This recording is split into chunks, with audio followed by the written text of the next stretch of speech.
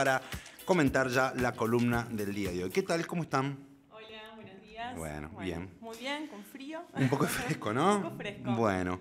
Eh, la Feria Agroecológica de Río Ceballos, feria que se encuentra todos los días sábados a partir de las 10 de la mañana aproximadamente en la Avenida San Martín, ahí en el Club de Caza y Pesca, y que bueno, trae distintos productos en los cuales nosotros también hemos participado ya de distintos sorteos, hemos realizado distintos sorteos, pero bueno, vamos a empezar a detallar eh, en estas columnas un poco qué trae la feria, qué se desarrolla en la feria, cuáles son las, cosas interesantes que hay en la feria, porque bueno, hay muchas personas que están trabajando con lo que es una, bueno, una forma también de una economía familiar, una economía que tiene que ver con una forma alternativa, quizás se puede decir, de distintos productos que van a estar llevando vos, amigo oyente, amigo oyente, a tu casa y que podés adquirirlos ahí. Así que bueno, les damos la bienvenida y ustedes dirán con qué empezamos en esta primera columna, ¿no?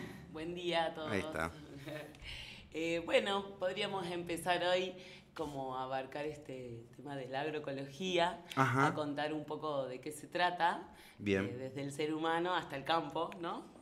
Eh, todo lo que implica, eh, lo que es el mercado y los alimentos que nos ofrece el mercado, eh, cómo también nos ata eso, nos atan las etiquetas Mm, eh, y muchos mitos ¿no? que hay sobre la alimentación. También es sobre la cosmética, ¿no?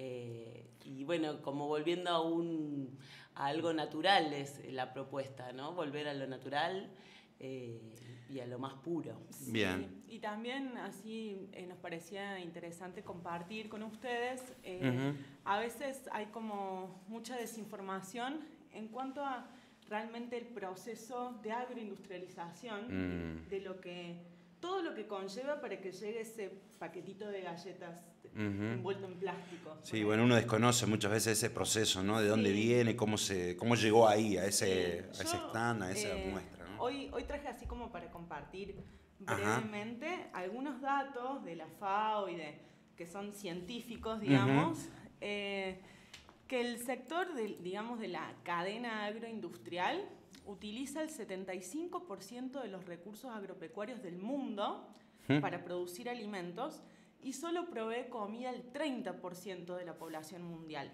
Sin embargo, produce toneladas y toneladas de alimento. Entonces, ¿a dónde va a parar esa comida? ¿A? A veces uno no se lo pregunta. Bueno, por ejemplo, un 44% Sí. es alimento para ganado. Un 9% es combustible que se utiliza en los campos. Un 15% se va perdiendo en el transporte de los alimentos de una zona a otra. Y un 8% termina en la basura de lo que comemos y los residuos. Ah. Entonces solo el 24% llega a la gente.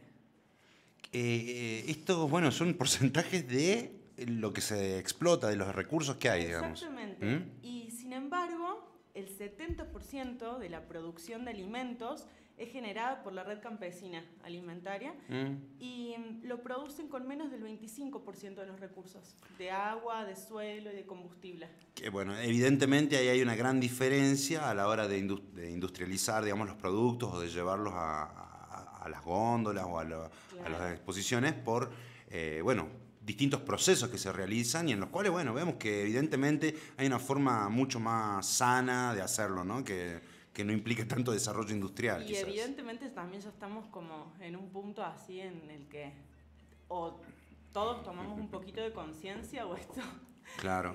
ya, este, nada, en los últimos 50 años con la, con la industrialización hemos hecho un desastre en el planeta. Y sin Mm. embargo, todo el resto de la humanidad estuvo viviendo de una manera con la agricultura familiar. Ujú. Entonces, como que la propuesta es esa, es volver a, a esa agricultura familiar y a, o sea, lo que apuntamos como a consumir local. Dejar, viste, de, hay muchas redes, está bien con la globalización y todo lo que nos invita, pero es volver a lo local, a, fortalecer los comercios dentro de, de la comunidad, ¿no? Y, y- y la comunidad eh, con la feria, ¿cómo se comporta? ¿no? Pues si bien la- digamos, podríamos decir entonces que la feria está dedicada o destinada a, a nuestra localidad o a lo que es este corredor pequeño de Sierras Chicas, vamos a decirlo así, porque sabemos que hay ferias en otros lugares, como bien decís, conectadas. Pero bueno, ¿cómo se comporta el público, el, el consumidor de acá de Río Ceballos? ¿Cómo lo ven? ¿Cómo lo notan? ¿Tiene conciencia de esto? ¿Creen que les llega este mensaje? Eh, muy interesante, muy interesante el público que se acerca también, porque viene en búsqueda de, una alimentación así. Y también que en la feria es un espacio de mucha información, de mm. transmitir conocimientos, eh, de transmitir desde la semilla hasta el producto hecho. Claro. ¿no? Hay muchas cosas y tenés el mismísimo productor en el puesto o si no un intermediario del productor que te puede contar de dónde viene, cómo se hace. Claro. Y eso está re bueno y es despertar una conciencia de lo que nos alimentamos, ¿no? Que sí, es re fácil ir al supermercado, agarrar la góndola, leer las etiquetas. Ni siquiera me gusta, me gusta, no me gusta el gusto. Claro. que siempre son químicos los gustos. Y agarro. Y bueno, llevo como. Como. Hmm. ¿Cómo, cómo? Y, algo que no es menor es lo que deja también como residuo, ¿no? La cantidad de cosas plásticas que vienen en, la bandeja cuando compramos, la bolsa de plástico. Bueno, muchas sí, sí, ingerible, ¿no? bueno, ahí en la feria trabajamos también por esas alternativas de, de, pacaquín, digo yo, ¿no? Eh, a veces se puede y a veces no se puede según el producto, mm. porque el tema de los conservantes, ¿no? el conservar, la limpieza que bueno, no hay que olvidarse de nada, hay que ofrecer productos bien informados, bien rotulados, bueno, todo eso. Igual siempre está la, la, propuesta de, bueno, que lleven la bolsa de compras y yo tengo muchos clientes que me llevan su tupper. Yo ah. produzco germinados agroecológicos y me llevan su tupper y yo directamente en vez de hacer la bandeja de plástico envuelta en film, le pongo lo que, lo que quiera. Ah, qué bueno eso, está bueno. Las tartas, viste, lo, lo que sea. Está bueno. Y, y, ahora, digo, ¿no? Pensando en esto de, de, cuidar un poco más el medio ambiente, desde la feria, esto decimos, tenemos de los productores que hacen el mismo producto y también algunos intermediarios, pero, y bien decías vos, eh, Lili, es eh, un poco de... Mm, eh, la información está ahí, ¿no? Sí. Creo que es también un poco de lo que tiene el espacio, ¿no? De que uno se puede nutrir de eso. El conocimiento. ¿Cómo, cómo hacen para, para categorizar, digamos, los lugares donde están la gente o cómo se reúnen los productores? ¿Cómo, ¿Cómo, nos ¿cómo lo organizan eso, eso? Bueno, nosotros nos organizamos en asambleas mensuales como grupo. Una vez al mes nos juntamos a charlar y a debatir eh, sobre distintos temas que van surgiendo. Y dentro de este grupo, que ya hoy somos más de 50 productores, es algo hermoso. Arrancamos siendo 13. Mirá, claro. Y, y hemos eh, hecho bases de admisión y todo el tiempo vamos ahí como eh, viendo cuál es el límite, ¿no? Porque también hay que tener en cuenta, bueno, un montón de, de, aspectos. Entonces tenemos eh, distintas admisiones de alimentos, de cosméticas, mm. y en base a eso hacemos bases en donde, bueno, eso, vamos poniendo qué se permite, qué no, tratando siempre de ser flexibles, eh, acompañando esa transición, pero a la vez no perder el eje de, la agroecología, que es lo que... Y en eso, bueno, uno agroecología piensa, a ver, digo, ¿son solo alimentos? No, no, no. No, no, no, hay cosmética natural, hay productos de limpieza, jabones naturales, que el agua se puede usar para regar las plantas. Ah, claro. Eh, sí, encima lava re bien la ropa el jabón. Qué bueno. Em, bueno, y hay un montón de cosas, semillas, eh, bueno, de alimentos, de lo que quieras. En, realidad es como la agroecología es, es una ciencia, se la puede considerar una ciencia nueva que, que surge a partir de los 90, después de esta cuestión de la revolución verde con la asociación mm. y todo este modelo, surgen como estas alternativas y, y, y la agroecología no solo contempla la alimentación, sino es como un, modo de vida que está vinculado a una ética, a mm. un respeto por el medio ambiente, a un consumo eh, consciente, un comercio justo. Eh, eso es la agroecología, como que incluye muchas aristas y, y no, no va de derecho al alimento, sino es una conciencia en donde somos comunidad con el, con el medio ambiente, ¿no? Claro, quizás eso, ¿no? La, la, familiarización de la palabra con lo que uno piensa, ¿no? La agroecología, ah, sí, la huerta, y se queda ahí nomás, ¿no? Digo, por eso también está buena la aclaración de que... Es que es más profundo, mm, ¿viste? Uno queda en esa superficial y cuando va entrando a detalle a la historia, a, los procesos, es como, wow, bueno, claro. invita ahí a, a mucho. Qué bueno, buenísimo. Em, ¿Qué más nos pueden contar sobre la feria? ¿Qué más les qué más pueden eh, presentar en esta primera columna de la Feria Agroecológica de Río Ceballos aquí en Buenavista Radio? Bueno, estaría buenísimo que Lizzy cuente de su producción de brotes. Bien. Eh, bueno, son los brotes de las semillas, es un alimento vivo. Bueno, que ella nos va a contar mejor. Así que es Bueno, bien, bien. Bueno, yo tengo un emprendimiento que se llama Naturaleza Prístina eh, que me dedico, comencé dedicándome a, producir germinados orgánicos.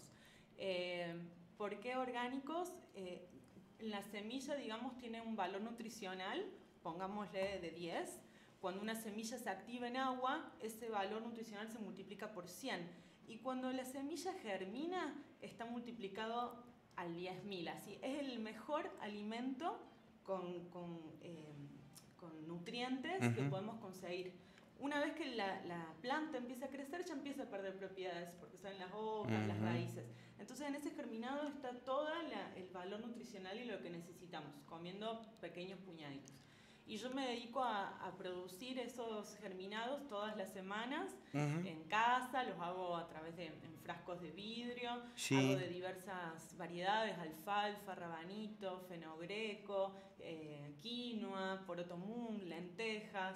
Bueno, a mí me encanta ver ese, ese proceso de, de, transformación de la semilla. Wow. Eh, también hago pasto de trigo, eh, que bueno, que, que, los germinados en sí eh, poseen mucho hierro, vitamina B, vitamina A, vitamina C, transforman, hacen disminuir las azúcares de la sangre, o sea, para personas con mm. diabetes, con colesterol, con problemas de tiroides, con reuma, artritis, artrosis son bárbaros, así es como una gran fuente de, alimento. Claro, claro, bueno, nosotros aquí en la, radio tenemos la columna de la nutricionista también y hemos hecho también programas sobre las semillas y bueno, lo interesante es esto, cómo se activan con el, con el agua, ¿no? Sí. Y uno por ahí tiene esto, ¿no? Que dice, bueno, el brotecito de soja, que es lo que más conoce, o el brote de la lenteja, que yo por lo menos hasta ahí llego, digamos, ¿no?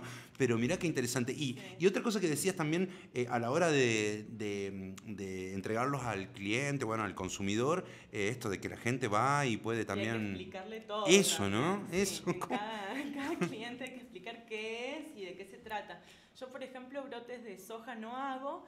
Eh, hago de porotomún, que es un primo hermano, digamos, de la soja pero bueno, no, yo no consigo, es difícil conseguir una semilla agroecológica, para empezar, mm. y la importancia de la semilla que sea agroecológica por el valor nutricional. Una semilla está fumigada y que vos la haces brote, te estás comiendo el veneno. Ah, ah, ah, Entonces es un detalle así sumamente importante y la gente, bueno, no, lo desconoce. Sí. sí, muchas veces esas, esas semillas también son híbridos, por lo tanto tampoco se reproducen porque son semillas manipuladas. Claro. Tenemos muy poca soja orgánica en el país, así agroecológica. Los chicos de Chacra Monteflores la hacen una sola vez al año. Eh, ellos la producen y no pueden volverla a producir porque necesitan volver a abonar la tierra porque la soja es un cultivo que come los nutrientes mucho de la tierra. Por eso tampoco en la agroecología se usa mucho hacerlo. Y en nutrientes sí es rica, tiene lindos nutrientes, pero hay muchos otros porotos que también los tienen. hay todo un mundo. Sí, hay una mitificación ahí con la soja y tiene que ver con este modelo, con Monsanto, Bayer. Mm. Hasta ellos mismos han transformado la pirámide de la alimentación. Sí. Eh, es como la, la conocemos. tal cual, tal cual. Y, y, bueno, pero también vemos, ¿no? De que en algunos lugares se ha, se ha eh, decidido, porque es una cuestión también política justamente, de evitar los agrotóxicos para las fumigaciones que tanto problemas traen y se nota en ese también ese cambio que hay muchas personas que han invertido en este modelo agroecológico y ha sido muy beneficioso para no campos chiquitos, sino campos muy grandes, ¿no? ¿Cómo lo es algo que avanza? ¿Está ahí en lucha? ¿Están las grandes corporaciones que siempre van a meter su... Es algo que está avanzando, que, que se está difundiendo y, y, o sea, yo lo que siento, como vos bien decías, es político. Eh, todo es político. Eh, comer es un acto político y está buenísimo tomar conciencia de eso a la hora de elegir. Eh, lo que haría falta realmente así para que esto funcione, que esto funcione en países de Europa, son políticas públicas que mm. acompañen. Porque para pasarse de un cultivo transgénico a un cultivo agroecológico hay que invertir mucho. y los mm, resultados mm. no se ven eh, a corto plazo. Claro. Es, es acompañar un proceso en el que uno hace una inversión y no sabe qué puede pasar. Entonces, en ese en ese lapso eh, se necesitarían políticas públicas del Estado que acompañen eso. Sí, antes teníamos más políticas públicas, más técnicos en los campos, cuando cambió el... Sí, sí, sí, la situación... La, presidencia ahí La situación política de un país determina eso también, ¿no? A la hora de alimentar a un país con un modelo o no, o implementar otros métodos, ¿no? Seguro. Lo, lo importante y lo lindo que han resistido los que los convencidos y eso es lo bueno. Y sí siguen creciendo en pequeñas escalas, pero con un apoyo y una política pública sería mucho más fácil.